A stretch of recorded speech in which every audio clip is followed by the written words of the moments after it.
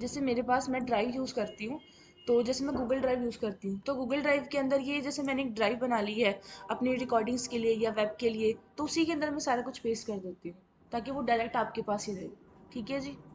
चाहो तो जब मर्ज़ी इनको डाउनलोड भी कर सकते हो। चलो बट बिफोर स्टार्टिंग वेबसाइट सबसे पहले हमने वेब टेक्नोलॉजीज़ को पढ़ना है कि वेब की क्या टेक्नोलॉजीज़ होती हैं। वेब का मतलब क्या है, हमने धीरे धीरे उसको समझना है। जितना हमारा कोर जितना हमारा बेसिक क्लियर होगा एडवांस में हमें कोई प्रॉब्लम नहीं आएगी। ठीक है जी? एकदम स्क्रैच से स्टार्ट कर रही हूँ। तो यहाँ पे क्या होता है? वेब टेक्नोलॉजी का मतलब क्या होता है? वेब तो आपको पता है रिलेटेड टू इंटरनेट एक्सेस चाहिए तो आपको इंटरनेट की ज़रूरत होगी। तो आपको ग्लोबली एक्सेस अगर करना है, मैं यहाँ पे इंडिया में अगर अपनी वेबसाइट चला रही हूँ तो अफ्रीका से भी कोई एक्सेस कर सकता है। जिसके पास इंटरनेट है तो वो वेब पे इंटरनेट पे अपनी जो भी उसको पोस्ट कर सकते हो। तो वेब टेक्नोलॉजी का मतलब क्या होता है? Refers to a range of methods visible हो रहा है? Range of methods and tools that are used in the process of communication between different devices via the internet. तो यहाँ पे इंटरनेट की बात हो रही है। डिफरेंट डिवाइसेस का मतलब क्या होता है? मेरे पास लैपटॉप है, किसी के पास टैब होगा, किसी के पास लैपटॉप होगा। जब एक वेबसाइट चलाते हो, अगर मैं यहाँ पे लैपटॉप पे कोई वेबसाइट चलाऊँ, वो थोड़ा अलग तरीके से दिखेगी, जो फ़ोन के अंदर चलाते हो, वो अलग तरीके से दिखेगी। गेटिंग माई पॉइंट तो अलग अलग डिवाइसेस से वेब टेक्नोलॉजी और उनके टूल्स को प्रोसेस करने वाला या उनके बीच में कम्युनिकेशन इस्टेब्लिश करने वाला ही वेब टेक्नोलॉजी है। कम्युनिकेशन इस्टेब्लिश कर रहे हो आप? अब विकीपीडिया जैसी वेबसाइट दुनिया में कोई भी एक्सेस कर सकता है। ठीक है जी? अब विकीपीडिया पे कहीं ना कहीं ये भी सहूलत होती है कि आप अपने दिए गए विचारों को पोस्ट कर सकते हो। जैसे एक बहुत ही फ़ेमस वेबसाइट है स्टैक ओवरफ्लो स्टैक ओवरफ्लो एक ऐसी कम्युनिटी है इट्स नॉट अ वेबसाइट एक ऐसी कम्युनिटी है जहाँ पे कोई भी कोडर कोई भी प्रोग्राम जिसको प्रॉब्लम आ रही है, वो अपनी प्रॉब्लम पोस्ट कर सकता है। कोई भी साथ वाला कोडर उसको सॉल्व करके दे सकता है। Getting my point to access web page a web browser is utilise web page क्या होता है? वेबसाइट है। वेबसाइट किससे बनी होती है? वेब पेजेस से बनी होती है। जी बिल्कुल। तो उनके लिए हमें ब्राउज़र की ज़रूरत होती है। Internet Edge sorry Chrome Edge हो गया फायरफॉक्स हो गया। अब web browser is a software application that enables the display और text data images animation and videos on the internet the field of web technology is rapidly increasing with the new framework standard and language देखो, जिस field में आप हो ना, ये कभी static नहीं रहती। हर बार चेंज होती है। हर बार कुछ ना कुछ नया होता है। पहले जैसे सिंपल एग्जांपल है। पहले चैट जीपीटी का ट्रेंड था, अब ब्लैक बॉक्स का ट्रेंड है। हर चीज़ के ट्रेंड यहाँ पे चेंज होते हैं। ठीक है जी? Web technology is a term use to describe all the different things people use to make website and web based application देखिए जी वेब अलग वेबसाइट अलग होती है वेब एप्लीकेशन अलग होती है। ठीक है जी? This include software and hardware tools programming language and standard need to create and run web apps on the internet web technology comprise many areas including web design web development web servers web browser e commerce and content management system इन सारी terms को आप अच्छे से समझोगे।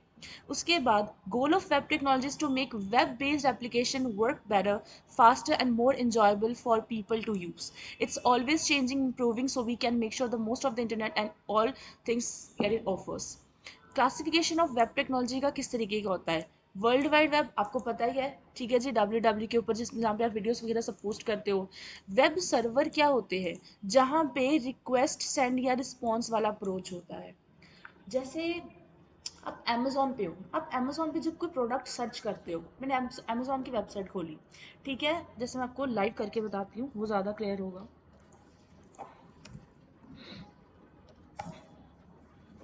अब जैसे मेरे पास ये वेबसाइट है, मुझे समझ में आ रहा है कि इस वेबसाइट का एक एड्रेस जा रहा है, ठीक है जी? अगर मैं इसको डबल क्लिक करूँ तो ज़रा देख पा रहे हो, ये क्या लिखा हुआ है? एच टी पी एस इसके एड्रेसेस होते हैं। जिसको हम T C B I P protocols भी कहते हैं। आपको वेबसाइट डालने के लिए जहाँ पे लिखा हुआ है डॉट इन डॉट कॉम इन डोमेन्स की ज़रूरत होती है, जिसको होस्टिंग खरीदना कहते हैं डोमेन डालना कहते हैं। गेटिंग माई पॉइंट अब जैसे यहाँ पे ये वेबसाइट है अब डिफरेंट तरीके की चीज़ें यहाँ पे देख सकते हो। ये मेरे पास है, ये एक डायनामिक वेबसाइट है। ये स्टैटिक नहीं है, ये डायनामिक वेबसाइट है। अपने आप में ये एक वेब एप्लीकेशन है। उसका मतलब क्या होता है? मैंने अभी यहाँ पे एक वर्ड बताया वेब सर्वर अगर मैं किसी भी प्रोडक्ट को यहाँ पे देखती हूँ, मान लो मुझे टेक्निकल सर्च करना है, मुझे यहाँ पे यू नो बैग सर्च करने हैं, मुझे यहाँ पे कुछ और सर्च करना है, मान लो मैंने इसके ऊपर क्लिक किया, यहाँ पे क्लिक किया तो मुझे ये बेस्ट ऑफ़र ऑनलाइन मुझे बता देगा। अगर यही बैग मैं दिवाली के आसपास सर्च करूँ तो मुझे इसके अंदर प्राइस ऑफ़र में बताएगा। गेटिंग माई पॉइंट वो चीज़ें कहाँ से निकल के आ रही हैं? वो उनके सर्वर से निकल के आ रही जहाँ पे इनका डेटा भी स्टोर होता है। गेटिंग माई पॉइंट यहाँ पे जब मैं इस बैग को सर्च कर रही हूँ, या फिर मान लो मैंने इसके ऊपर सर्च किया है, या फिर मैं गूगल के ऊपर जाके कोई और वर्ड को सर्च करती हूँ। मैंने टाइगर यहाँ पे ऊपर सर्च कर लिया। अब टाइगर के अंदर वो मुझे सारी चीज़ें बता रहा है। इसके रिलेटेड ये देखो उसने मुझे कुछ और चीज़ें बता दी उसके लिए टॉप स्टोरीज क्या हो जा, हो जाएगी और क्या क्या वीडियोज़ हैं क्या क्या चीज़ें हैं। आपने जस्ट एक कीवर्ड सर्च करा और गूगल ने अपने सर्वर में से जो रिस्पॉन्स था वो सारा आपको दे दिया। ये क्या है? मेरा एक लैपटॉप है। And my laptop is a client right now वो क्लाइंट है और वो क्लाइंट क्या कर रहा है? गूगल के सर्वर में रिक्वेस्ट भेज रहा है कि टाइगर का जो जितना रिज़ल्ट आता है मुझे निकाल के दो। तो ये क्या हो जाता है? क्लाइंट एंड सर्वर रिक्वेस्ट होती है। जो आपके लैपटॉप होते हैं, वो क्लाइंट होते हैं, जहाँ पे सारा डेटा बेस स्टोर होता है, उसको सर्वर बोलते हैं। और एग्जांपल इसकी छोटी से छोटी एग्जांपल जैसे बैंक के एम्प्लॉयज़ होते हैं। आपको लगता है कि हर बैंक का एम्प्लॉय अपने कंप्यूटर पे काम कर रहा है तो उसी के लैपटॉप में स्टोर है, ऐसा कुछ नहीं होता। वो एक सर्वर के साथ कनेक्टेड होता है, जो कि बैंक का सर्वर होता है। उसके बाद यहाँ पे ये डायग्रामेटली बताया हुआ है क्लाइंट क्या करता है रिक्वेस्ट करता है सर्वर को, और सर्वर अपने डेटाबेस में से ढूंढ के देता है उसको रिस्पॉन्स करता है। नेक्स्ट इसके अंदर क्या होता है? Web browser they are the tools we use to look at web pages web page को देखना है, जैसे मैंने अमेजोन का वेब पेज देखा है वहाँ पे तो मुझे इसके लिए गूगल की ज़रूरत होगी। अगर मैं ड्राइव को एक्सेस कर रही हूँ I need the web browser है इसके बाद ये कुछ T C S S JavaScript होती हैं, जिसको आपने पढ़ना है। ये भी वेब टेक्नोलॉजीज़ का पार्ट है। एच क्या होती है? Language that help structure and show content on web page ठीक है? याद रखो स्ट्रक्चर हम इसके लिए वर्ड यूज़ करते हैं। एचटीएमएल स्ट्रक्चर प्रोवाइड करता है। एक आर्किटेक्चर अगर आपने बनाना है तो आपको क्या चाहिए? उसका ब्लू चाहिए, उसका स्ट्रक्चर चाहिए, वो आपको एचटीएमएल प्रोवाइड करता है। सीएसएस क्या करती है? Helps to make web pages look pretty by adding colour fonts and style style कितने तरीकों का होता है जो आप इसके अंदर देखोगे? जावा स्क्रिप्ट क्या होता है? Makes web pages do cool stuff like animation and interactive features button के ऊपर क्लिक किया तो बटन आपको किसी और पेज के ऊपर लेके जा रहा है। बटन के ऊपर सबमिट करा तो एक्चुअल में फॉर्म सबमिट भी हुआ है। सबमिट होके वो आपको नेक्स्ट पेज के ऊपर लेके जा रहा है। गेटिंग माई पॉइंट तो वो चीज़ आप इसके अंदर सीखोगे। उसके बाद यहाँ पे क्या है? Back end technologies back end technologies में क्या होता है? Use to make the server parts of web web apps work जैसे कि इसके अंदर बैक एंड है। मैंने कोई यहाँ पे प्राइस देखा सॉरी uh, मैंने यहाँ पे कुछ मुझे बैग पसंद आया मैंने एड टू कार्ड वगैरह कर दिया। अब जैसे एड टू कार्ड करा वो मुझे पेमेंट गेटवे के ऊपर ले जाएगा मैंने पेमेंट दी मुझे बैग निकल के आ गया। मैंने पेमेंट कहाँ पे दी? मेरा डेटा कहाँ पे स्टोर हो गया? उनके डेटा डेटाबेस में जाके स्टोर हो गया। So that is the back end technology कि बैक एंड में भी यहाँ पे कुछ होता है। फ्रंट एंड मतलब जो सिर्फ़ वेबसाइट आपको दिख रही है, उसके बैक एंड में क्या है? देन डेटाबेस का सिस्टम जो आपको पता ही है माई सीक्वल जैसी चीज़ों से होता है। ठीक है जी? उसके लिए एसक्यूएल पढ़ना पड़ता है डेटाबेस पढ़ना पड़ता है बैक एंड टेक्नोलॉजीज़ के लिए। फिर नेक्स्ट आपके पास क्या है? इंपॉर्टेंस ऑफ़ वेब टेक्नोलॉजी क्या क्या इंपॉर्टेंस होती है? ग्लोबल रीच होता है जैसे मैंने आपको बताया कोई भी एक्सेस कर सकता है। कॉस्ट इफ़ेक्टिव होती है चीज़ें सस्ती भी होती हैं आपके लिए। जैसे इसको थोड़ा और इलेबरेट करती हूँ। मान लो कि आपने एक वेबसाइट होस्ट कर ली है गूगल पे आपने डब्ल्यू डब्ल्यू डॉट कॉम लिख दिया। Com is use for the commercial website जैसे कि ई कमर्स वेबसाइट होती है। ई कमर्स का मतलब क्या होता है? रीन नो दैट जी बिल्कुल। बाइंग एंड सेलिंग जी, बिल्कुल। Buying and selling over the internet अब वो बाइंग एंड सेलिंग किसी भी चीज़ की हम कर सकते हैं। गेटिंग माई पॉइंट उसके बाद कॉस्ट इफ़ेक्टिव क्या आपने जो वीडियो सॉरी आपने जो अपनी वेबसाइट डाल दी, आपको पैकेजेस मिलते हैं। मंथली ईयरली आपको वीडियो पे डाल आपको वेबसाइट अगर पोस्ट करनी है, इतना मंथली पैकेज है जी, इतना ईयरली पैकेज है। गेटिंग माई पॉइंट तो आपको पे करना पड़ता है। इम्प्रूव्ड कम्युनिकेशन होता है ऑफकोर्स इम्प्रूव भी होगा कम्युनिकेशन के साथ। आपके जितने भी क्लाइंट्स होंगे, मान लो, मेरी एक सिंपल सी शॉप है कि मेरी इंडियन मसाले वाली मेरी शॉप है। लोग मेरे घर से वो चीज़ें एक्सेस कर रहे हैं। वही अगर मैं वेबसाइट डाल दूँ कि मेरी इंडियन मसाले मैं यहाँ पे सेल करती हूँ और लोग वहाँ से वेबसाइट से वो चीज़ें खरीद सकते हैं तो कम्युनिकेशन ग्लोबली इंक्रीज होता है। इसलिए तो लोग वेबसाइट बनाते हैं। गेटिंग माई पॉइंट अब यहाँ पे क्या है? इनहेंस्ड कस्टमर एक्सपीरियंस वही इसके अंदर है। जितने कस्टमर होंगे उसका एक्सपीरियंस उतना बढ़ेगा। कि आपने बता दिया आप ऑफर्स क्या क्या दे रहे हो? उसके बाद एक्सेस टू डेटा आपको पता ही है एक्सेसबिल इसके अंदर होता है मोबाइल एक्सेस जो वेबसाइट लैपटॉप के ऊपर चलाइए मोबाइल के ऊपर भी चलनी चाहिए। इनोवेशन होती है web technology drives innovation by providing a platform for new product service and business model आपने आगे ऑफ़र क्या चलाने हैं? आप इसके अलावा अपने कस्टमर्स के लिए और क्या क्या चीज़ें लेके आ रहे सोशल इम्पैक्ट आपको पता ही है, जब इतनी चीज़ें कर जाते हैं तो सोशल इम्पैक्ट और ज़्यादा हो जाता है। वाई लर्न वेब टेक्नोलॉजीज़ के अंदर सबसे पहली चीज़ ये इन डिमांड स्किल्स है। अगर आपको जॉब चाहिए वेब डेवलपमेंट की जॉब चाहिए you need to know how to make web technologies क्या क्या इसके अंदर सिस्टम है तो ये इन डिमांड स्किल होती है। सेकेंड इसके अंदर क्या है? कैरियर अपॉर्चुनिटीज़ वही वेब डेवलपर आपकी कैरियर अपॉर्चुनिटीज़ है।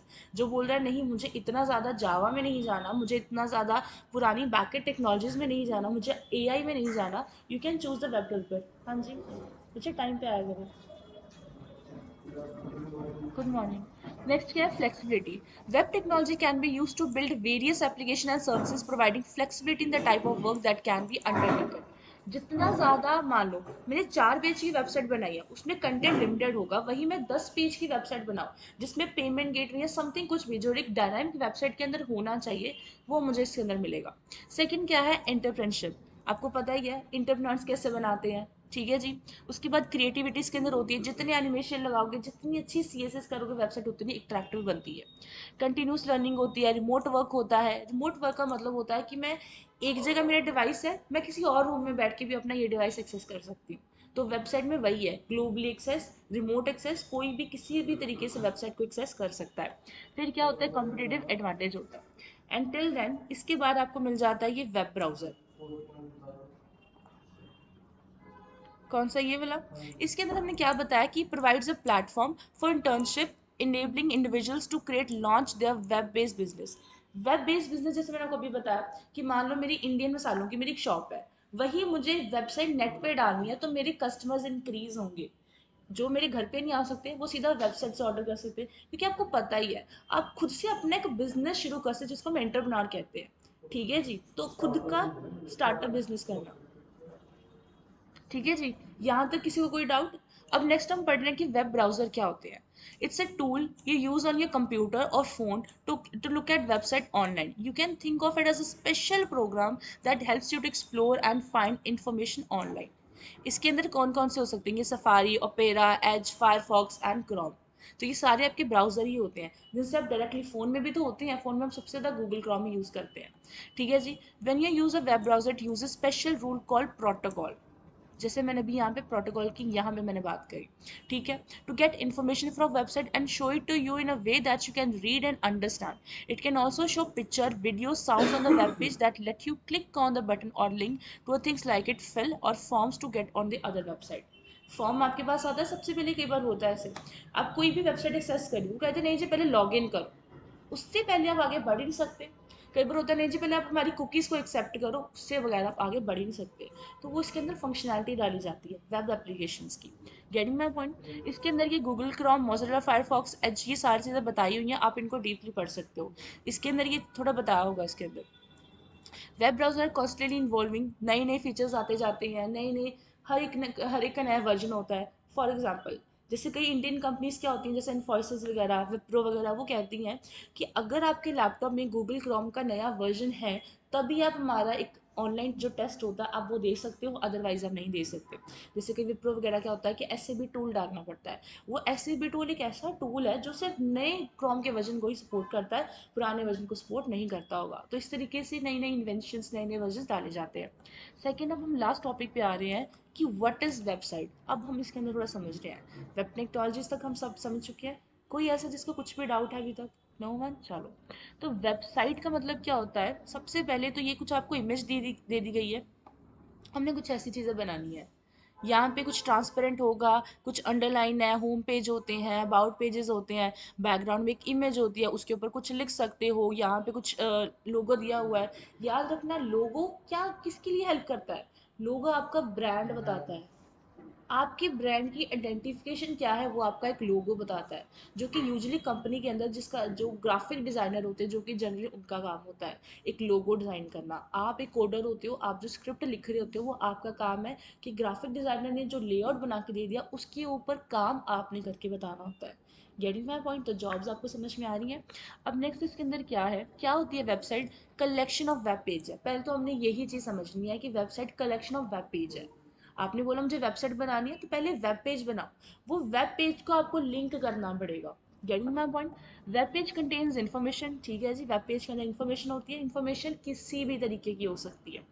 These web pages are connected using link and they are technically called hyperlink getting my point next क्या है? वेबसाइट कितनी तरीके की होती है? दो तरीके की। Starting website and dynamic website अब before moving into that जरा इसके अंदर थोड़ा कंसेप्ट और समझ लेते हैं। वेबसाइट क्या है? पहले तो इतना, हम समझ रहे हैं कलेक्शन ऑफ़ वेब पेजेस है। लेकिन आप वो टेक्निकल पर्सन आपके पास जो क्लाइंट आता है, वो आपको क्या बोलेगा? जी, मुझे एक वेबसाइट बनानी है। राइट? मैं सिंपल से एग्जांपल लेती हूँ। जैसे, मान लो मेरे पास कोई शेफ़ है। वो शेफ़ आया, वो कह रहा है कि नहीं जी, मुझे एक वेबसाइट बनानी है। अब मुझे उसकी रिक्वायरमेंट्स पता है। मैं अपना दिमाग चलाऊँगी, मुझे पता है कि जो वेबसाइट वो बनाना चाहता है, क्या होगा? अपनी वीडियोस वगैरह पोस्ट करता जाएगा, अपने तरीके से कोई इतना इसका कम्युनिटी का स्कोप नहीं होगा। वही अगर वो वेबसाइट का वेबसाइट नहीं, कुछ और बना दे तो। फॉर एग्ज़ाम्पल अगर मैं आपको सिंपली बताऊँ तो हमारे पास वेबसाइट को लेके कुछ और चीज़ें भी होती है, कुछ और तर्क भी होते हैं।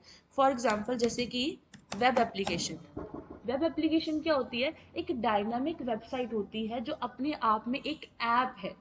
Myntra is app Amazon is app Flipkart is also app तो वो अपने आप में एक ऐप होता है।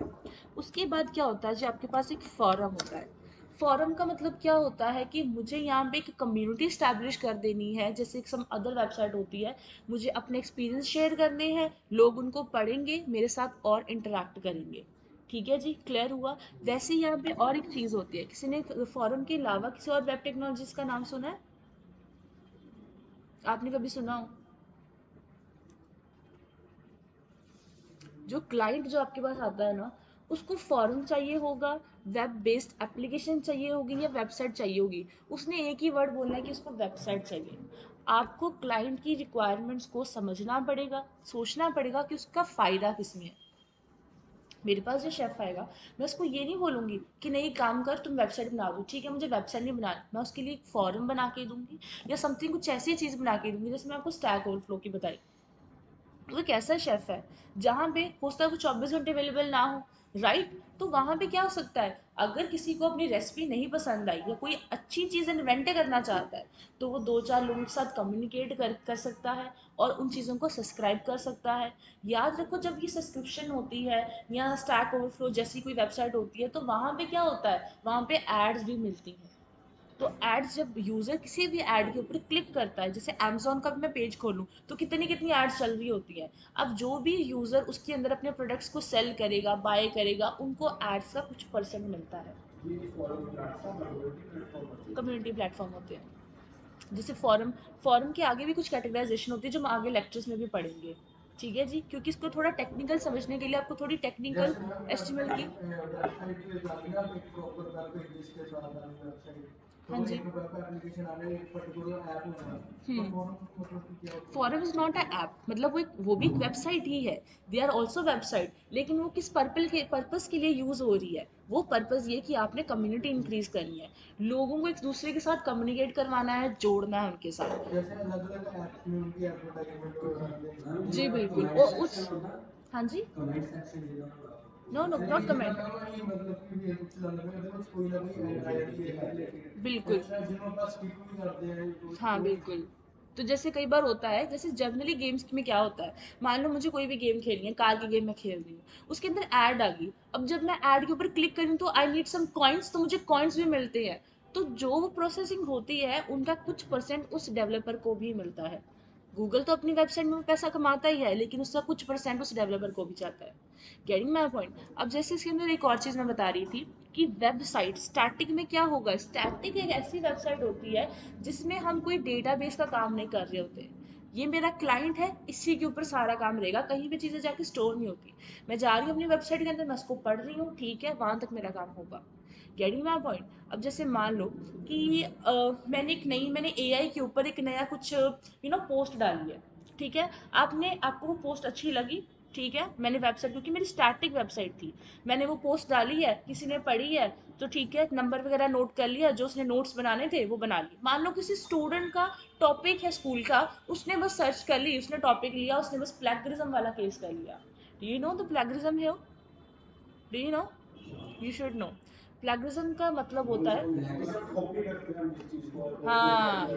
बिल्कुल, किसी और की चीज़ को कॉपी करना, उसको मेंशन ना करना समथिंग लाइक दैट तो कॉपीराइट्स वगैरह भी हो जाते हैं ना इसके अंदर कि आपने किसी का कॉपीराइट वगैरह लिया है, वो चीज़ें आप इसके अंदर समझोगे। टेक्निकली इन चीज़ों को समझना हमने गेटिंग माई पॉइंट कि अगर किसी और की आउटसोर्स एक्सवाइजेड सोर्स देते हो तो उनको आपको मैंशन करना पड़ता है। गेटिंग माई पॉइंट क्लियर हो गया अच्छे से? अब ये इसके अंदर थोड़ा और चीज़ बताया हुआ है, थोड़ा डीपली समझाया हुआ है कि क्या क्या चीज़ें इसके अंदर। तो ये वेबसाइट इसके अंदर हो गया। स्टैटिक का मतलब क्या आएगा? Static web page sometime called a flat page या स्टेशनरी पेज भी बोलते हैं। हो सकता है क्लाइंट आपको इन वर्ड से बोले जो आपको गैस करने हैं। ठीक है जी? फ्लैट पेज का मतलब क्या होता है? स्टेशनरी सा पेज चाहिए, उसका मतलब वो स्टैटिक वेबसाइट मांग रहा है। ठीक है जी? Is a web page that's deliver to the user exactly as is told उसके अंदर मैं बार बार इतने मुझे चेंजेस नहीं करने। मैंने बना के रख दिया जस्ट सिंपली ठीक है। मुझे इसके अंदर ज़्यादा कुछ चेंजेस नहीं करने। तो डायनामिक वेबसाइट क्या होती है अपने आप में एक वेब एप्लीकेशन होती है जो क्लाइंट ब्राउज़र से डेटाबेस के साथ कनेक्टेड होती है। ठीक है जी? और स्टार्टिंग वेबसाइट डायनामिक वेबसाइट का क्या मतलब है? वो starting website H T M C S S JavaScript से बनी होगी। Dynamic P H P MySQL के साथ कनेक्टिविटी करके बनी होगी। ठीक है जी? उसके बाद कैटेगरीज ऑफ़ वेबसाइट में क्या होता है? वेबसाइट मतलब नॉन इंटरेक्टिविटी सिंपल उतनी हमें इंटरेक्टिविटी नहीं चाहिए होती है। वेब फॉरम जिसकी मैंने अभी बात करी वो क्या करेगा? मेक अ कम्युनिटी हाँ जी? वेबसाइट मतलब नॉन इंटरेक्टिविटी जिसको हम स्टैटिक वेबसाइट बोल देते हैं। सो so बेसिकली जो वेबसाइट है, वो हर कोई इसको वेबसाइट ही बोलेगा। जिस मैंने आपको अभी बताया, जो कहेगा, नहीं, मुझे कम्युनिटी बनानी मैं चाहती हूँ कि लोग मेरे आसपास रहें, ताकि मेरी कनेक्टिविटी बन सके, मुझे एड्स मिले या समथिंग ऐसा कुछ भी। तो उनके लिए हमें क्या चाहिए होता हमें पता उनको वेब फॉरम की ज़रूरत है। उनको वेबसाइट की ज़रूरत नहीं है। तो वेबसाइट हम एक स्टैटिक वेबसाइट समझ रहे हैं, जिनकी इंट्रैक्टिविटी है। वो बात अलग है कि ये ट्रेंड आज का चेंज हो चुका है। दिस सेड कि static website not that much interactive हम वो चीज़ सीखेंगे कि कैसे बनाते हैं। ठीक है जी? प्रॉपर एक फॉर्म वैलिडेशन होगा इसके अंदर एनिमेशन वर्क करते होंगे पेज जैसे मैं कोई वेबसाइट चला रही तो वेबसाइट चलाने से पहले कुछ लोडिंग का एनिमेशन आता है तो वो भी इसके अंदर सीखेंगे। प्रॉपर जावास्क्रिप्ट सीखनी है, क्योंकि अगर आपको आगे फर्दर वेब टेक्नोलॉजी सीखनी है, जो कि सीखनी ही पड़ेगी तो उसके लिए आपको जावास्क्रिप्ट आनी चाहिए। नेक्स्ट हमारे पास क्या है? Web forum to use to make a community web application क्या होती है? Dynamic website just like a software just like an app blog क्या होता है? ऑल्सो ये वेबसाइट ही होती है बिज़नेस के लिए posting about article updating your community etcetera जैसे सेलिब्रिटी वगैरह भी यूज़ करते हैं ब्लॉगिंग के लिए तो ये वही चीज़ होती है। अब नेक्स्ट हम फर्दर इंट्रोडक्शन शुरू कर रहे हैं अपने एस से। ठीक है? तो एच क्या होती है? वो हाइपर टेक्स्ट मार्कअप लैंग्वेज होती है। एक एक वर्ड का मतलब समझेंगे बट थोड़ी सी इंट्रोडक्शन तो आपको समझ में आ चुका है कि एच किसके लिए यूज़ होती है? स्ट्रक्चर के लिए यूज़ होती है, एक वेबसाइट को प्रोवाइड करने के लिए. देखो जी, चाहे तो आप किसी भी एआई का यूज़ कर लो, चाहे किसी भी प्लेटफॉर्म का यूज़ कर लो एच तो आपको पढ़नी पड़ेगी, क्योंकि वही बेसिक स्ट्रक्चर है. HTML is a hypertext markup language that defines the appearance of the contents on a web page. एक टेक्स्ट है हेडिंग कैसी दिख रही है? छोटी हेडिंग कैसी है, बड़ी हेडिंग कैसे है? Estimate allow us to how the text image graphic and videos can be formatted shown on the web page markup tells the web browser how to display web page words and images एक एक word का हम जरा इसके अंदर मतलब समझ लेते हैं। Each individual markup code in close between this angular brackets जिनको हम बोल देते हैं टैग बोलते हैं। टैग्स को भी आप अच्छे समझोगे। फ़िलहाल एच का मतलब क्या होता है? हाइपर टेक्स्ट जो text that acts as a link markup का मतलब क्या होता है? जो सिंबल्स के लिए स्टैंड करता है here text are markup in the symbols generally known as tag अब जो भी काम करोगे ना इसके अंदर, वो टैग्स के अंदर लिखोगे। आपको अपना जो वर्ड लिखना है ना hello welcome to my website वो भी एक टैग के अंदर होगा। अब टैग कौन सा होगा, वो पूरी तरीके से आप डिसाइड करोगे। आपकी वेबसाइट आप डिज़ाइन कर सकते हो। गेटिंग माई पॉइंट तो मार्कअप्स का मतलब हो गया। लैंग्वेज का मतलब होता है एक्सटेंसिबल लैंग्वेज क्योंकि इसके अंदर आप जावा और सी सीखते हो। गेटिंग माई पॉइंट तो इसका एक स्ट्रक्चर होता है। आपको बताया मैंने, एक वेबसाइट को खड़ा करने के लिए एक स्ट्रक्चर होगा। फॉर एग्ज़ाम्पल अगर मैं इसको ही खोलूँ अभी, ये जो मेरे पास वेबसाइट है, मैं इंस्पेक्ट पे जाके इसी वेबसाइट का अगर एक कोड देखूँ तो ये मुझे मिल रहा है इसके अंदर, ये पूरा कोड है। ये देख पा रही हूँ? इसी तरीके का कुछ स्क्रिप्ट आपने लिखनी है। याद रखो H T L is a not a coding language it is a scripting language get my point तो कभी ये मत बोलना। आप ये कह सकते हो कि L is a markup language और L is a scripting language but never say L is a coding language तो अब यहाँ पे ये मैंने जो कोड खोल के रखा हुआ है अब स्टार्टिंग में एक लाइन पढ़ पा रहे हो डॉक टाइप एल लिखा हुआ है। उसके बाद एल लिखा हुआ है, उसके बाद हेड लिखा हुआ है, उसके बाद बॉडी लिखा हुआ है और कुछ फ्रेम्स वगैरह, बहुत चीज़ें इसके अंदर यूज़ करी हुई हैं। और अगर मैं लास्ट में हटाऊं तो यहाँ पे बॉडी बंद हो रहा है, यहाँ पे एस्टिमल बंद हो रहा है और हेड कहीं ऊपर ही बंद हो चुका हुआ है। बॉडी से पहले बंद हो चुका होगा। ये बॉडी और ये हेड इधर ही बंद हो गया। ये देखो, ये हेड के अंदर ये कुछ ऐसे स्क्रिप्ट वगैरह कुछ लिखी हुई हैं, कुछ मेटास बनाए हुए हैं। ये हमने सभी चीज़ें पढ़नी है। अगर मैं इसके अंदर थोड़ी चीज़ें हटा दूँ सपोज़ ये बॉडी टैग है, इसको हटा दी। तो ये बॉडी के अंदर जब मैंने इसको रिमूव कर दिया, देखो इधर सारा एम्प्टी हो गया। ये जो मैंने अमेजोन की वेबसाइट साथ कभी कुछ छेड़खानी करी है बॉडी टैग रिमूव किया तो सब कुछ खराब हो गया। देखो हेड उधर ही है। इस वेबसाइट का नाम नहीं अभी गया, लेकिन मैंने बॉडी वाला सारा पार्ट उठा दिया। सारी सी वगैरह सभी चीज़ उठा दी। गेटिंग माई पॉइंट तो इन चीज़ों से आप ये चीज़ सीखोगे कि कहाँ पे, कौन सी चीज़ यहाँ पे आने वाली है। वापस चलते हैं सर अपने स्ट्रक्चर के अंदर। तो स्ट्रक्चर के अंदर आप पहली लाइन के देख पा रहे हो डॉग टाइप एस्टिमल ये जो मैंने स्ट्रक्चर बनाया, आपको एग्जैक्टली exactly वैसे ही लिखना है, क्योंकि यही चीज़ें स्टोर्ड है, इसी से वेबसाइट बनती है. अब नेक्स्ट क्या है? डॉग टाइप एस्टिमल तो डॉग टाइप एच टी यहाँ तक क्या है? एक टेक्स्ट समझ रहे हैं जो कि दो एंगुलर एक एंगुलर ब्रैकेट के अंदर इनक्लोज्ड है. And this angular bracket is known as tag in tags के अंदर ही आप अपनी सारी स्क्रिप्ट लिखोगे. तो सबसे पहले इसको रीड कर लेते हैं डॉग टाइप एस्टिमल का मतलब क्या हो गया? Hyper text markup language doc type का मतलब होता है doc type which means document की टाइप कौन सी है? तो जी डॉक्यूमेंट की टाइप है HTML जिसके अंदर आप हाइपर टेक्स्ट मार्कअप लगा सकते हो एंड सी एस जावास्क्रिप्ट को भी लिख सकते हो। मेक सेंस एनीवन किसी को डाउट है? नो? नेक्स्ट इसके अंदर क्या है एच सो ये एच टैग यहाँ से स्टार्ट हुआ, यहाँ पे बंद हो गया, ये क्या लॉजिक हुआ? क्योंकि टैग्स की प्रॉपर्टी होती है टैग स्टार्ट भी होते हैं क्लोज भी होते हैं but not every tag tag start होंगे, कुछ क्लोज कुछ स्टार्ट होंगे तो कुछ क्लोज होंगे, कुछ क्लोज नहीं होंगे. गेटिंग माई पॉइंट उनको हम धीरे धीरे समझेंगे.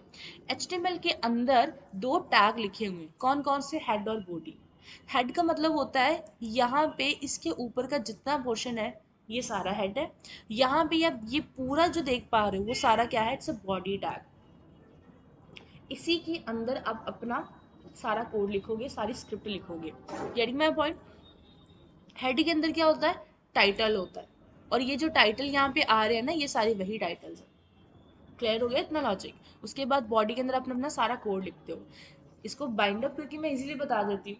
समझो कि डॉक टाइप एस्टिमल किसके लिए यूज़ होती है? ये जो आप ब्राउज़र पे सारा काम एग्जीक्यूट करते हो ना, ये डॉक टाइप एस्टिमल जो सबसे टॉप पे होती है लाइन ये सिर्फ़ ब्राउज़र के साथ कम्युनिकेट करती है and then it tells the browser कि आपकी जो कोड जो आपकी स्क्रिप्ट है, वो किस तरीके से डिस्प्ले करवानी है।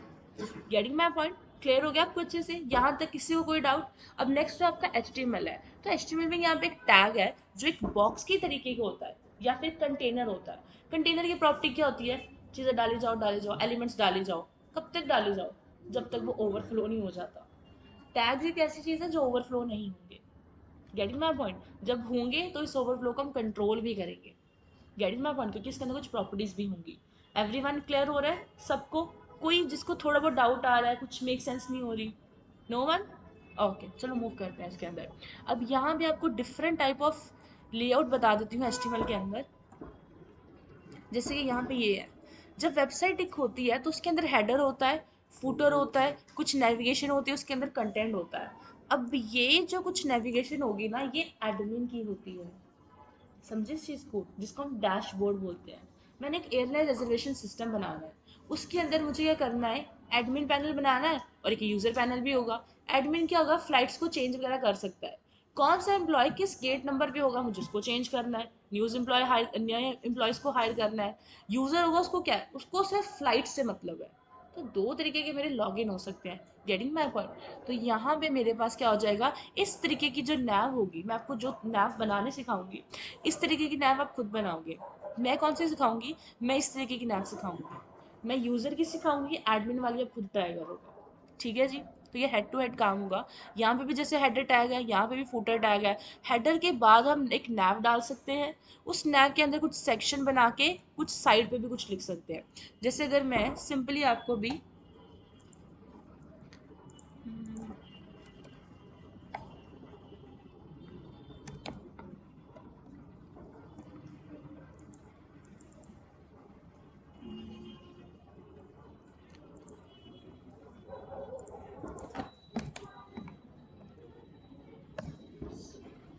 जैसे मेरे पास ये विकीपीडिया है, ठीक है? अब जैसे ये मेरे पास इसका होम पेज आ जाता है, अगर वही विकीपीडिया की वेबसाइट अगर मैं फ़ोन के ऊपर ओपन करूँ तो फ़ोन के ऊपर कुछ अलग तरीके से आएगी, ठीक है जी? जैसे अगर मैं यहाँ पे क्लिक करूँ, अब ये क्या है? ये हाइपर लिंक है। इसके ऊपर जब जैसे मैं क्लिक करूँगी तो यहाँ पे क्या हो जाएगा? ये एक वेब पेज खुल जाएगा। आप देख पा रहे हो, यहाँ पे इसका क्या है? ये सारा उसका हेडर का सेक्शन होगा। इस वेबसाइट की जैसे मैं नीचे जाऊँ तो ये इसका कुछ फूडर का सेक्शन होगा। हर वेबसाइट एक अलग तरीके से प्रेजेंट होती है। ठीक है जी? यहाँ पे ये साइडें बिल्कुल एम्पटी है और टेक्स्ट सारा बीच में है सेंट्रलाइज्ड है, ताकि हर डिवाइस के अंदर चल जाए। हर डिवाइस का अपना रेजोल्यूशन होता है हाइट विथ होती है। जो इसने इमेजेस लगाई हुई हैं, हर इमेज की अपनी हाइट और विथ होती है। गेटिंग माई पॉइंट इसके अंदर जैसे ये सर्च लगा दिया हुआ, यहाँ पे इसका एक मेन्यू है, यहाँ पे create and log in something है तो इस तरीके की चीज़ है। जब अपने हिसाब से कर सकते हो। ये चीज़ें जर्नली एक यूज़र एक प्रोग्रामर अपने ही हिसाब से करता है। यहाँ तक सारा क्लियर हो गया कि लेआउट्स बड़े तरीके की हो सकती हैं। क्लियर एवरीवन सबको क्लियर हो गया? अब इसके आगे मूव करें। चलो। तो ये जो पीडीएफ मैंने डाला हुआ है, ये मैं आपको सेंड भी कर दूँगी। ठीक है? बट बिफोर दैट एक काम करते हैं। लेट्स सी कि हम अपना जो कोड एडिटर है, उसको कैसे इंस्टॉल करेंगे। ठीक है? तो जिनके पास लैपटॉप है, वो प्लीज़ ओपन कर लो और साथ साथ में इंस्टॉल करना शुरू कर दो।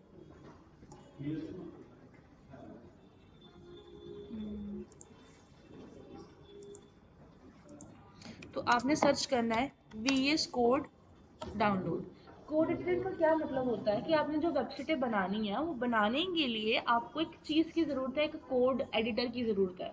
कोड एडिटर क्या होती है? जो हमारे लिए हेल्प करते हैं ताकि हम अपने कोड को बड़े ही ईजिली लिख सकें. ये कोई स्कूल कॉलेज वाला काम नहीं होगा जो मैं आपको नोट पैड पे कराऊँ. मैं आपको एक प्रोफेशनल चीज़ पे करवाऊँगी, जो कि वी कोड है. जैसे फ़र्स्ट वेबसाइट आती है, इसके ऊपर आपने क्लिक करना है. विंडोज़ है यहाँ पे. इसके ऊपर इसको क्लिक करना है. एंड स्टार्ट हो जाएगा डाउनलोड, यहाँ देखो, डाउनलोड स्टार्ट हो गया। ठीक है जी? जस्ट जितना फास्ट इंटरनेट होगा, उस स्पीड से डाउनलोड हो जाएगा। यहाँ तक किसी को कोई क्वेश्चन है? किसी ने कुछ पूछना है?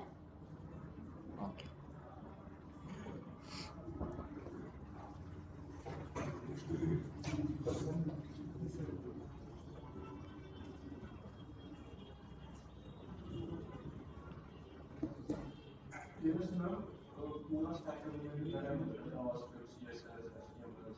डिपेंड्स ऑन यू कि आपकी भी स्पीड कितनी है। इसमें भी टाइम लगता है।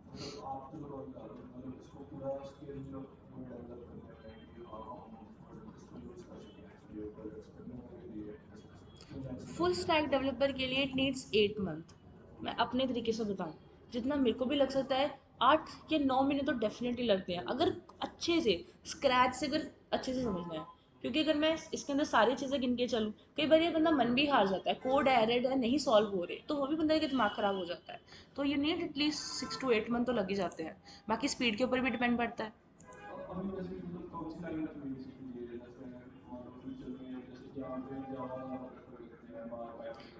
Java and Python is always head to head ये दोनों हमेशा हेड टू हेड होती हैं। जिसको जिसको पता है कि नहीं, मुझे स्टैटिकल में थोड़ा जाना है, वो डेटा साइंस में जा सकता है डेटा लिस्ट वगैरह फ़ील्ड में जा सकता है, जिसका मैथ वगैरह भी थोड़ा स्ट्रॉग है। जिसको पता है मुझे एआई में जाना है, वो भी पाइथन में जा सकता है, आगे इसके अंदर मूव कर सकता है न्यूरल नेटवर्क्स में समझ सकता है। अब जिसको पता है कि मुझे कोडिंग करनी है, मुझे ऐप्स अच्छे और बनाने हैं तो वो जावा में भी जा सकता है। डिपेंड्स अपॉन जिसको सिर्फ़ वेबसाइटें बनानी है, जिसको वेब का पूरा काम सीखना है, वो वेब डेवलपर की प्रोफ़ाइल चूज़ करता है। आप सीखो कुछ भी फुल स्टैक में भी, आपकी प्रोफ़ाइल एक हो जाए। तो आपके लिए ज़्यादा बेनिफिशियल होती है। किसी भी चीज़ में मास्टरी करना बेनिफिशियल द मोस्ट वो आपको ज़्यादा बेनिफिट करना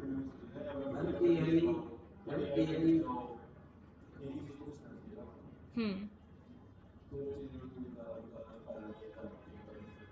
देखो, आज के टाइम पे ना, जो कंपनी को एम्प्लॉय चाहिए ना, वो मल्टी स्किल चाहिए। उसको चाहिए, उसको हर चीज़ आती हो। आप एस आप चलो मान लो कुछ भी सीख के चले जाओ, वो अगर आपको ये बोले कि नहीं नहीं, आपको तो हर चीज़ आनी चाहिए थी, आपने फुल स्टैक करा है तो आपको बाकी का बेस काम पे है? आपको वो चीज़ें नहीं आती तो वो बंदा कहीं ना कहीं डावाडोल भी हो जाता है। तो ये भी चीज़ है कंपनी में ये भी चीज़ होती है कि आपको हर चीज़ आनी चाहिए। हाँ जी?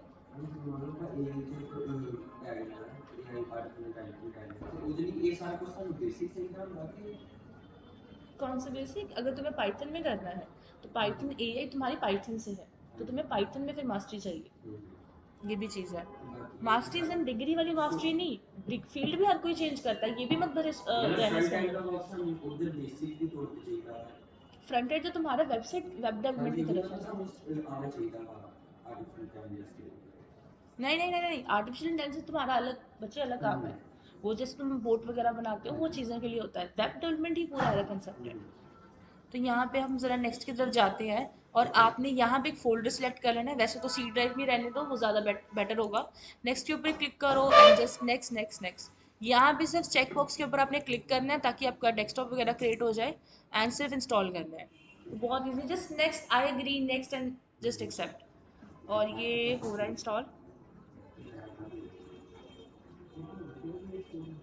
जैसे इंस्टॉल होता है, हम इसके अंदर ना आज फोल्डर बनाना सीख लेंगे। ठीक है जी? याद रखना, जो भी प्रोजेक्ट बना रहे हो, जो भी फाइलें बना रहे हो, कोई एक लोकेशन रखना। ये ना इमेजेस डेस्कटॉप पे हो, फाइलें डी या सी ड्राइव में हो, कुछ डॉक्यूमेंट्स में हो, सारा काम अपने एक ही जगह रखना है, वरना बाद में प्रॉब्लम होगी इसको जैसे ही फिनिश करा, ये ओपन हो जाएगा। तो मैंने तो बहुत बार यूज़ करा है तो मेरा कुछ इस तरीके से आ रहा है वी एस कोड आपका जो वी एस कोड होगा, वो कुछ अलग तरीके से आएगा।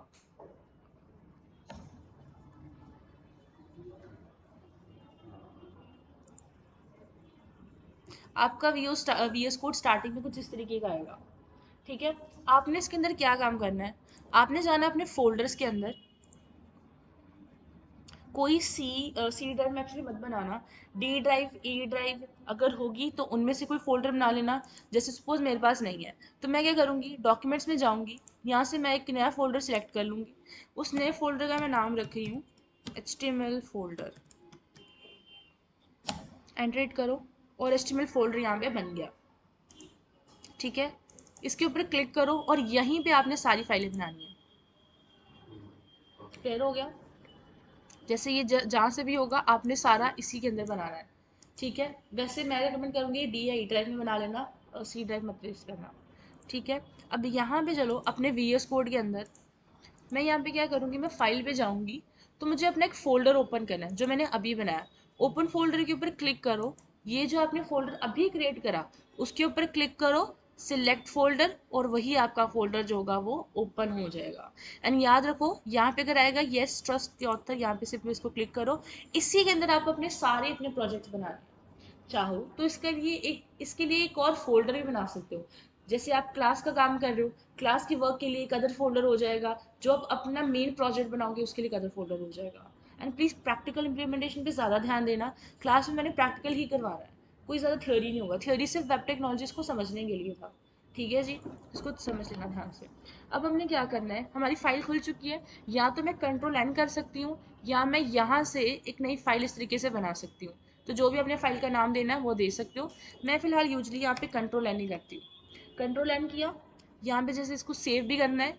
तो सेव अब कैसे करना है?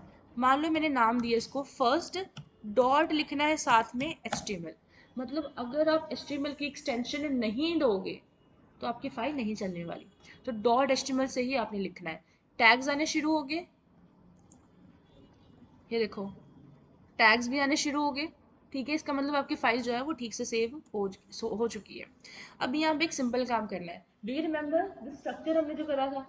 ठीक है, अब वो स्ट्रक्चर मैं ऐसे कर करके ना पूरा लिखने नहीं वाली। मैं ऐसे स्ट्रक्चर नहीं लिखने वाली। मैं क्या करूँगी? मैं बॉयलर प्लेट का यूज़ करूँगी। तो शिफ्ट प्लस एक्सक्लेमेशन मार्क लिख लो, चाहे चीज़ों को नोट कर लो। शिफ्ट प्लस एक्सक्लेमेशन मार्क जैसे ही आप हिट करोगे तो यहाँ पे सजेशन आएगा। सजेशन के ऊपर आपने एंटर हिट करना है, आपकी पूरी बॉयलर प्लेट आ जाएगी। क्लियर हो गया जी सबको? कोई ऐसा जिसको अभी तक नहीं क्लियर हुआ? मैं एक बार दोबारा करके बता रही हूँ। ठीक है? हमने क्या करना है? शिफ्ट प्लस एक्सक्लेमेशन मार्क जैसे कि मेरे पास लैपटॉप है तो यहाँ पे जो शिफ्ट है और ये एक्सक्लेमेशन मार्क है। इन दोनों को आपने होल्ड करके रखना है। So just shift exclamation mark enter करो और आपके ये टैग बन जाएँगे। क्लियर हो गया सबको? सबको? कोई ऐसा जिसको नहीं क्लियर हुआ? उसके बाद अब यही सारे मेरे टैग्स हैं जिसके ऊपर मैंने काम करना है। फॉर नाउ यहाँ पे ये जो मेटा वगैरह आ रहे हैं ना मेटा टैग्स आ रहे हैं, हमने इसको स्किप करना है। ये जे वाला काम है। ठीक है जी? डॉक टाइप आ गया, उसके बाद एच आ गया फिर हेड टैग आ गया हेड टैग हमने क्लोज कर दिया और फिर हमारे पास बॉडी टैग आ गया। इन टैग्स को आप अदला बदली नहीं कर सकते हेड बॉडी को आगे पीछे नहीं कर सकते। हेड का मतलब टॉप रहेगा बॉडी का मतलब सेंट्रलाइज टेक्स्ट ही रहेगा। यहाँ पे मेरे पास आप देख पा रहे एक टाइटल टैग है। ठीक है जी? थोड़ा मैं इसको जूम इन कर देती हूँ। ये जो मेरे पास टाइटल टैग है, मैं इधर से विंडो को बंद भी कर सकती हूँ। अगर किसी के पास ज़्यादा फ़र्स्ट क्रिएट हो रहा है, जैसे ये चीज़ें हैं तो आप क्या कर सकते हो? यहाँ से इसको बंद कर सकते हो विंडो को। तो आपके पास ये पूरा सरफेस होगा काम करने के लिए। जैसे ये मेरे पास है टाइटल टैग तो टाइटल के अंदर मुझे इसको चेंज करना मैं फ़िलहाल क्या कर रही हूँ, ये डॉक्यूमेंट था ना? रुको, मैं पहले आपको ना एग्जीक्यूट करके बता दूँ, आपको वो ज़्यादा क्लियर रहेगा। जिसके पास लैपटॉप वगैरह है, वो क्या कर सकते हैं? फ़ंक्शन की प्लस एफ़ फाइव एग्जीक्यूशन के लिए। ठीक है जी? फ़ंक्शन की प्लस एफ़ फाइव ठीक है? जैसे ही आप इतना प्रेस करोगे अपने लैपटॉप के ऊपर तो यहाँ पे ये क्या हो जाएगा? क्रॉम ओपन हो जाएगा। ये मुझे यहाँ पे सजेशन पूछ रहा है कि आपने क्रॉम से एग्जीक्यूट करना है या एज से करना है या फिर एक्सटेंशन इंस्टॉल करनी है। हम एक्सटेंशन से भी काम करेंगे। एज तो आपको सबको पता ही है, चाहो तो इसके एग्जीक्यूट कर सकते हो, लेकिन मैं नहीं यूज़ करती। मैं यूजली प्रेफर करती हूँ क्रॉम ही यूज़ करो। उसके बाद इंस्टॉल एंड एक्सटेंशन तो एक्सटेंशन भी हम करेंगे but let of not right now तो मैं यहाँ पे क्रॉम के ऊपर क्लिक करूँगी एंड यहाँ पे इस टाइम पे ये मेरा पूरा के पूरा वो वेबसाइट वाला वो जो वेब पेज है वो ओपन हो गया। ये वाला जो मेरा वेब पेज है फ़र्स्ट और डेस्टिमल तो वो मैंने यहाँ पे ओपन कर लिया हाँ हाँ हाँ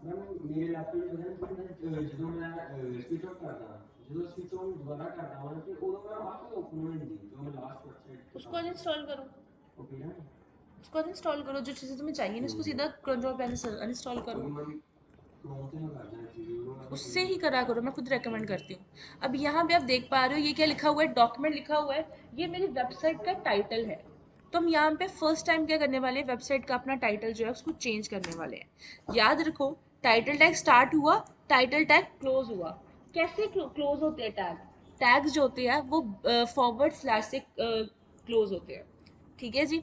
और इसके अंदर आप जो भी लिखोगे, वो क्या होगा? एक्चुअल कंटेंट होगा। मान लो, मैंने एक वेबसाइट का नाम देना है, मैंने लिख रही हूँ यहाँ पे।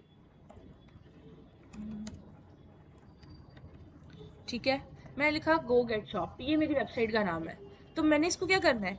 मैंने सेव किया, ठीक है? वापस गए अपने वेब पेज के अंदर पेज को रीलोड किया। तो अब देख पा रहे हो, ये गो गेट शॉप यहाँ पे चेंज हो गया। नज़र में आ गया सबको? क्लियर हो गया? एवरीवन अब यहाँ पे एक चीज़ और। जैसे ये मेरे पास कीबोर्ड है तो मेरे पास ये नीचे क्या है? टैब्स ओपन हो चुके हैं। या तो मैं अपने माउस से इनको क्लिक करूँ, जैसे मुझे वी एस कोड मुझे क्रोम पे जाना है तो मैं यहाँ पे क्लिक करूँ। या फिर मैं और क्या कर सकती हूँ? मेरे पास और ऑल्टरनेट ऑप्शन क्या है? या तो आप आई के स्टूडेंट हो, इसको छोड़ दो। ठीक है? ट्राई करो जितना काम कीबोर्ड से कर सकते हो। सो मैं ऑल्ट प्लस टैब कर रही हूँ और यहाँ पे मैं अपने सारे टैब स्विच कर सकती हूँ। मुझे जिस भी टैब पे चाहिए, मैंने मान लो मुझे क्रोम पे जाना है गूगल शॉप पे जाना है मैंने छोड़ दिया और मैं उस पर पहुँच गई जितना ज़्यादा शॉर्टकट की को यूज़ कर सकते हो आपके लिए उतना अच्छा है rather than dragging the mouse in and out clear हो गया एवरीवन सबको समझ में आ गया कि किस तरीके से काम करना है? मैं एक बार alt plus tab tab to switch the tab जी बिल्कुल। अब मान लो मुझे कुछ और रखना है वेबसाइट का नाम। तो मैंने अपनी वेबसाइट का नाम जो है वो कुछ और रख दिया है। अब क्या करना है? फिर से किस तरीके से एग्जीक्यूट करना है? सेव करना है वी एस कोड को, लिख लो चाहे तो साथ में। सेव करना है, टैब स्विच करना है और वहाँ पे जाके अपने रीलोड करना है। अब जैसे यहाँ पे देखो। एक चीज़ और समझ लो। पहले पूरा वी एस कोड समझ लेते हैं। मैंने दोबारा से किया एफ़ फाइव तो यहाँ पे ये रन हो रहा है। आपको कैसे पता चलेगा कब रन हो रहा है, कब नहीं हो रहा? ये इंडिकेटर देख पा रहे हो? ये सारा। अगर ये आपके वेब पेज पे सॉरी अगर ये आपके वी एस कोड पे इस तरीके से शो हो रहा है इसका मतलब आपका ये जो पेज है ऑलरेडी एग्जीक्यूट हो रहा है। ठीक है जी? अगर आप यहाँ से इसको बंद कर देते हो तो ये भी अल्टीमेटली बंद हो जाएगा। आप चाहो तो इधर से भी अपने वेब पेज को बंद कर सकते हो एंड दोबारा से एग्जीक्यूट भी कर सकते हो। क्लियर हो गया सबको? कोई ऐसा जिसको अभी भी डाउट है और समथिंग वी एस कोड को ज़रूर चलाना अच्छे से सीख लो, ताकि फिर बाद में कोई प्रॉब्लम ना हो। क्लियर सबको अब प्लीज़ इसकी एक बार प्रैक्टिस कर लो। जो नोट्स दिए प्लीज़ एक बार गो थ्रू कर लो, जिसको किसी चीज़ में डाउट है, वो मेरे को बताओ। पाँच मिनट में दे रही एक बार किसी चीज़ में डाउट है तो बता दो। और नोट्स में भेज दूँ। एंड प्लीज़ अभी के अभी सारे अपनी ईमेल आईडी ग्रुप में भेजो। मैं नोट्स में भेज देती हूँ।